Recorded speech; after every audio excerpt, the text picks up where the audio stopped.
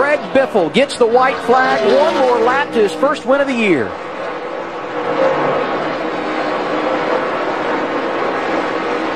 Think about Jimmie Johnson led laps, had a dominant car. The same for Kasey Kahne. In fact, both he and Dale Earnhardt Jr. had issues while leading.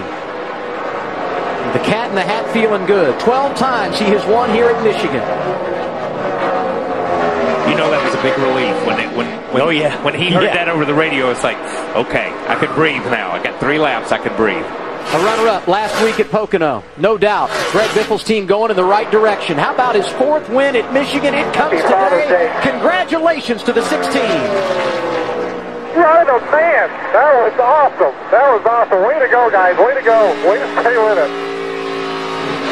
All right, runner with the 48 passes trying to catch me. Love it. Keep digging.